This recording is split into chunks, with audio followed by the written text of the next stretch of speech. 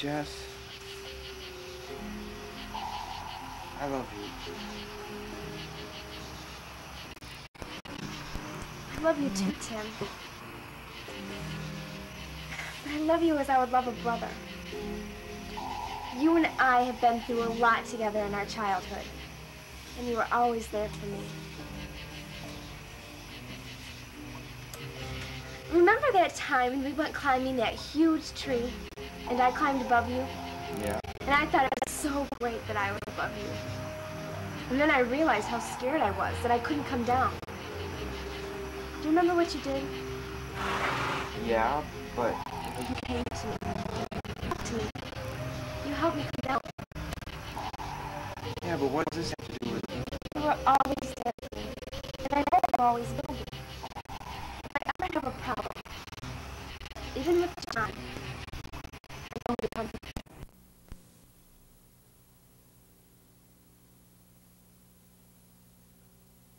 Everything will be fine.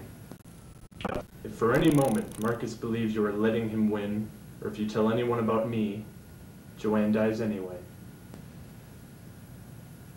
Go to hell! I'm not ready to return. You have been chosen, and this cannot be undone.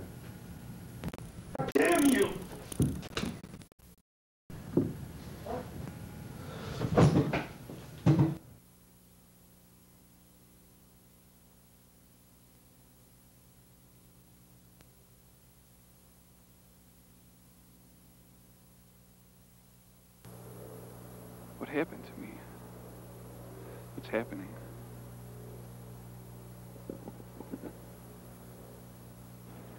You have no respect for the land.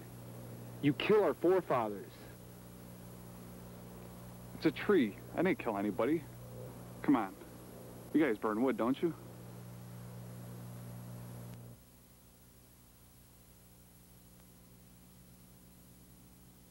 Don't be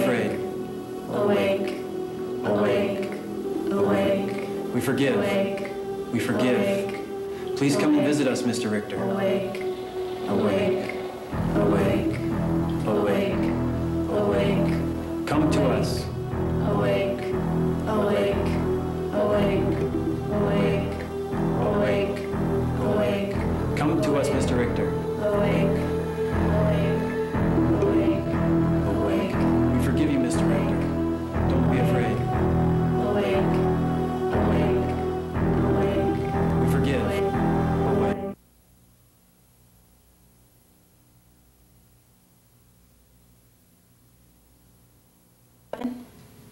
And do you think my son used that on that student?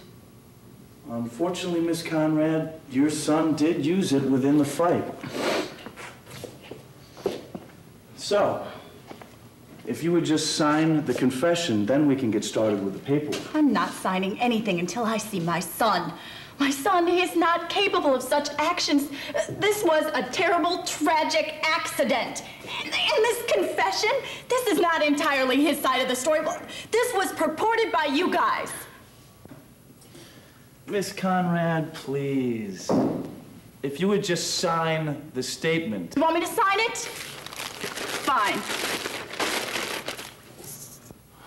Miss Conrad, you can't. Any further questions can be directed to my lawyer.